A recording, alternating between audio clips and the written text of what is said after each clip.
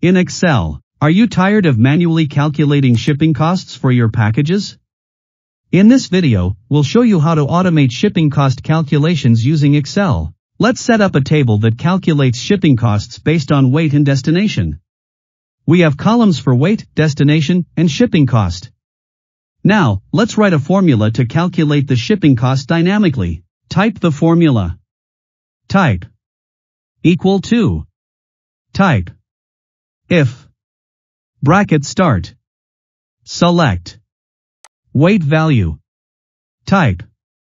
Greater than sign. Type.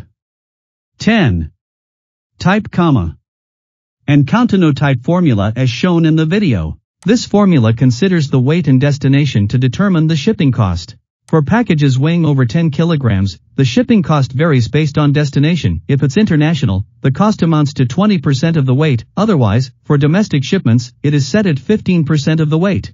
Conversely, for packages weighing 10 kilograms or less, irrespective of destination, the shipping cost remains constant at 10% of the weight. By dragging the formula down, the table automatically calculates shipping costs for all packages.